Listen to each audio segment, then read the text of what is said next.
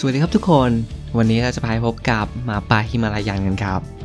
หมาป่าฮิมาลายัน อีกหนึ่งกลุ่มสัตว์ตระกูลสุนัขที่เริ่มมีการสูญพันธุ์ นั่นก็คือหมาป่าฮิมาลายันนั่นเองครับ เป็นอีกหนึ่งสายพันธุ์ที่กินเนื้อ ที่มาจากสายพันธุ์ทางพันธุกรรมของหมาป่า แต่จะมีความแตกต่างลึกๆเข้าไปอีกครับ ที่เป็นการเกิดจากสายพันธุ์ทิเบต หรือเทือกเขาฮิมาลัยที่ราบสูงถึง 4,000 เมตรนั่นเอง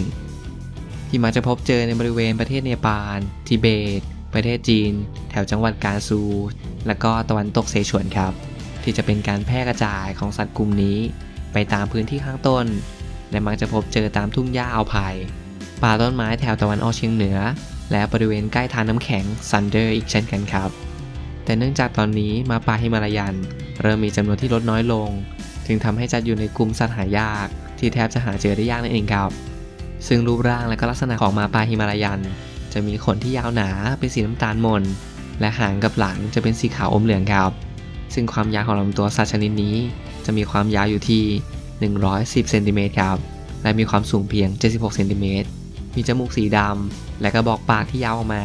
พร้อมทั้งมีใบหูที่ตั้ง ให้ความรู้สึกคล้ายกับสุนัขจิ้งจอกแดงครับ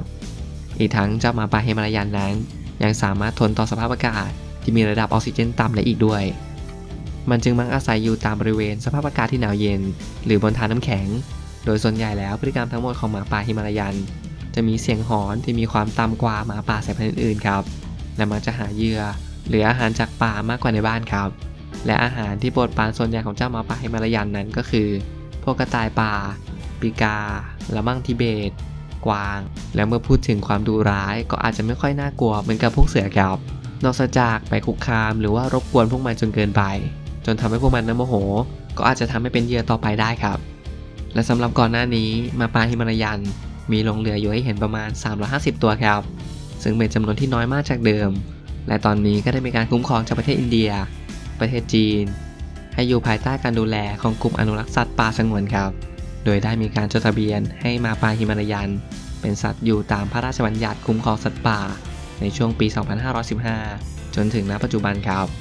จนปัจจุบันนั้นตอนนี้มีเหลือเพียงแค่ 18 ตัวเท่านั้น ที่ยังคงนำถุงมาเลี้ยงและก็ดูแลอยู่ เพื่อจะได้มีการผสมพันธุ์และการขยายพันธุ์ที่มากขึ้นนั่นเองครับ เป็นยังไงบ้างครับสำหรับมาป่าฮิมาลายันหรือว่าฮิมาลายันวูฟวันนี้ไม่ได้มาด้วยเรื่องสุนัขบ้างนะครับ มาสุนัขป่ากันบ้าง แต่ถ้าใครชอบฮิมาลายันก็อย่าลืมกดไลค์แชร์ Subscribe และที่สำคัญ ถ้าคิดว่าเป็นประโยชน์ก็สั่นกระดิ่งไว้ด้วยนะครับสำหรับวันนี้แอมมีกดตัวลาไปก่อน สวัสดีครับ